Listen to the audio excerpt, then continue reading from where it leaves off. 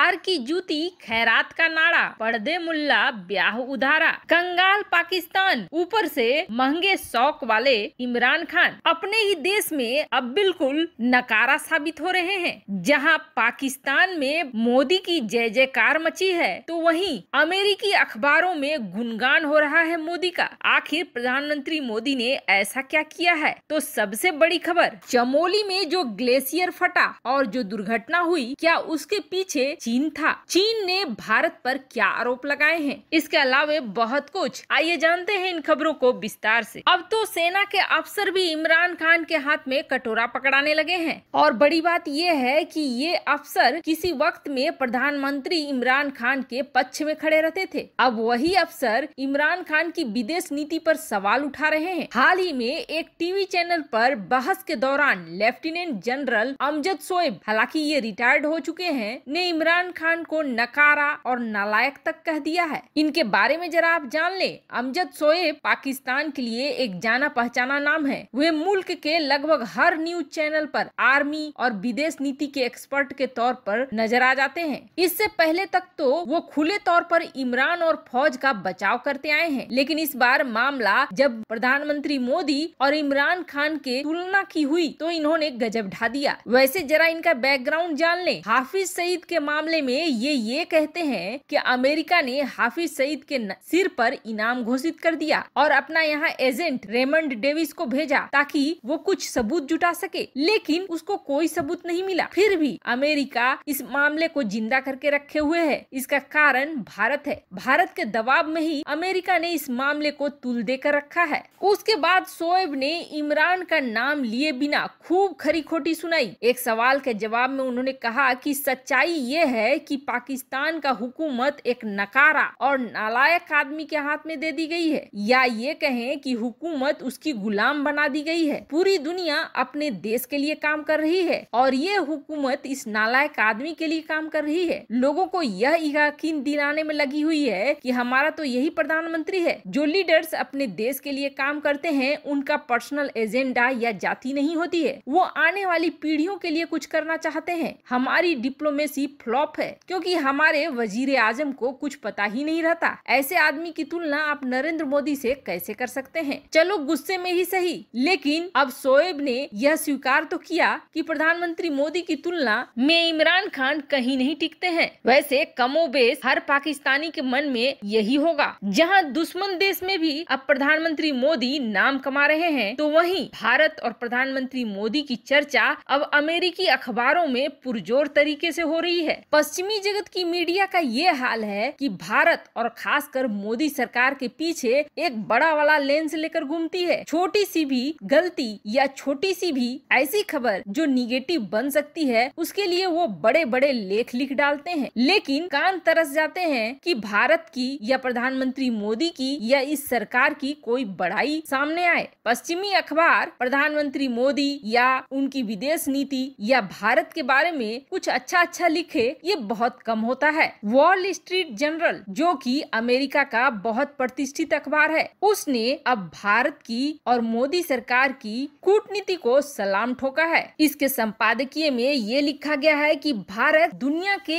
एक बड़े नेता के रूप में सामने आया है। भारत की कूटनीति की तारीफ़ करते हुए इस अखबार ने लिखा है कि भारत रातों रात आश्चर्यजनक ढंग से एक रेस को जीतने की कगार पर है और यह रेस है वैक्सीन कूटनीति की। वैक्सीन कूटनीति में जिस तरह से भारत अपने लोगों को वैक्सीन लगा ही रहा है, उससे तीन गुना निर्यात कर रहा है, ये बहुत ही आश्चर्य की बात है। साथ में यह भी लिखा गया है कि भारत न सिर्फ़ अपने देश में, बल्कि अपने मित्र देशों को भी वैक्सीन दे रहा है और जिन देशों की डिमांड है, उन्हें भी पूरी करने की पूरी कोशिश कर रहा है। इस अखबार ने लिखा है कि भारत ने एक सच्चे नेता की तरह दिल जीतने वाला काम किया है, जिस तरीके से भारत ने महामारी से पहले और महामारी के बाद पूरे एशिया में चीज़ों को संभाला है, यह तारीफ़ के काबिल है। ये पूरा का पूरा आर्टिकल भारत की वैक्सीन कूटनीति और प्रधानमंत्री मोदी सरकार और मोदी सरकार की इस क्षेत्र में सफलता को दिखलाने के लिए लिखा गया है। चलो, सबसे बड़ी बात है, दुनिया ने अब मानना तो शुरू किया। बीते दिनों उत्तराखंड में जो त्रासदी देखने को मिली है, अब उसके लिए ये आशंका व्यक्त की जा रही है कि क्या यह चीन की हरकत है। क्या चीन ने लेजर बीम से किसी ग्लेशियर को अपना निशाना बनाया और उसे काट कर विध्वंस का ये खेल खेला है? एक थ्योरी सामने आ रही है। कहा यह जा रहा है कि 7 फरवरी 2021 को जो कुछ भी चमेली में हुआ, वह कोई आश्चर्यजनक घटना नहीं थी, बल्कि यह चीन द्वारा कृत्रिम रूप से किया गया एक विध्वंस था। ऐसा शक किया जा रहा है। वाडिया हिमालय भूगर्भीय संस्थान के निदेशक आलाचंद साई ने इस दुर्घटना पर आश्चर्य व्यक्त करते हुए ये कहा कि यह फरवरी में कैसे हो सकता है? केंद्रीय जल आयोग के निदेशक शरद चंद्र ने भी इस दुर्घटना के समय पर आश्चर्य व्यक्त किया। उन्होंने भी कहा कि एकाएक ऐसा होना आश्चर्यजनक है क्योंकि हर 24 घंटे सैटेलाइट इमेज की समीक्षा होती है और एक दिन पूर्व ऐसे कोई लक्षण दिखाई नहीं देता है। कनाडा के कालगरी के विश्वविद्यालय के डॉक्टर डेन सुगर भी इसे काफ़ी रहस्यमय मान रहे हैं। ऐसी आशंका व्यक्त की जा रही है कि यह चीन ने भारत के काली जैसे किसी लेजर बीम से ग्लेशियर को काटकर विध्वंस किया है। कुछ समय पूर्व तक यह माना जाता था कि काली सिर्फ़ भारत और अमेरिका के पास है, किंतु चीन इस विषय पर बहुत गंभीरता से रिसर्च कर रहा था। क्योंकि चीन के पास संसार की कई मॉडर्न टेक्नोलॉजी है तो ऐसी संभावना जताई जा रही है कि उसके पास काली जैसा कोई हथियार था या फिर कोई लेजर बीम का शक्तिशाली हथियार था, जिसने बिना किसी आवाज़ के ग्लेशियर को काटा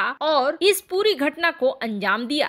क्योंकि ग्लेशियर सर्दियों में खिसका नहीं करते हैं। फरवरी के महीने में जब बर्फ़ चट्टान की तरह एक दूसरे से चिपकी रहती है तो ऐसे में ग्लेशियर कैसे टूट सकता है? ऐसी घटनाएँ तो खास तौर पर अप्रैल और मई के बाद में होती है। बताया जा रहा है कि जो ग्लेशियर टूटा है, वह चीन की सीमा के बिल्कुल नज़दीक है। ऐसे में संभावना व्यक्त की जा रही है कि यदि चीन तिब्बत या लद्दाख क्षेत्र में भारत के साथ कुछ अधिक नहीं कर पाता है तो वह अरुणाचल या किसी अन्य क्षेत्र में नया मोर्चा खोल सकता है। और यह सब कुछ ऐसा लग रहा है जैसे चीन के लिए नया मोर्चा था। बिना एक भी सैनिक के उतारे उसने भारत के अरबों खरबों रुपए का नुकसान किया है। तपोवन में बन रहा हाइड्रो इलेक्ट्रिक प्रोजेक्ट पूरी तरीके से तबाह हो गया है और पहले से ही एक बना हुआ बाँध भी पूरी तरीके से बह गया है। हालाँकि ग्लोबल टाइम्स ने ऐसी किसी भी थ्योरी से इनकार किया है। और ग्लोबल टाइम्स ने इसका सारा दोष भारत के ऊपर मढ़ा है। उसका कहना है कि भारत इस इलाके में बहुत ज़्यादा खनन कार्य कर रहा है, निर्माण कार्य कर रहा है। इसी वजह से पर्वतों में इस तरह की चीज़ें हुई हैं और ग्लेशियर टूटा है। वैसे जब तक आधिकारिक रूप से कोई शोध सामने नहीं आता है, तब तक इसे संभावना ही कहा जाएगा। वैसे आपको क्या लगता है, क्या चमोली के ग्लेशियर को तोड़ने में चीन की भूमिका हो सकती है? कमेंट कर अपनी राय ज़रूर बताएँ। जल्द मिलते हैं अगले वीडियो में नई खबर के साथ।